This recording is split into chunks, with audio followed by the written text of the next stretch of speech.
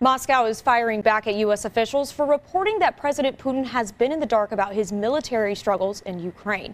This comes as the Ukrainians' fierce defense appears to be forcing Russia to shift its focus to the congested Donbass region in the east. Fox's Madeleine Rivera reports from Washington. Neither the State Department nor the Pentagon possess the real information about what is happening in the Kremlin.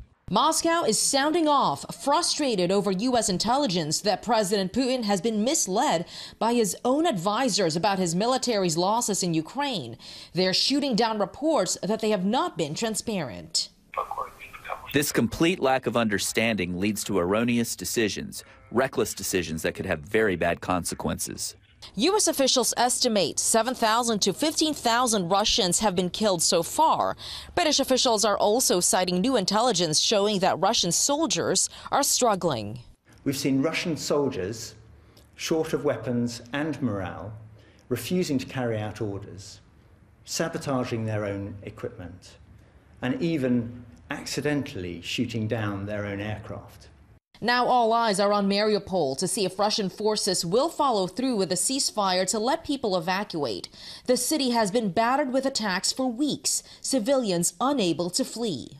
It was such hell. I can't express it. Anything you can imagine was flying through our house and past it. But NATO says Russia must be judged by what they do and not what they say.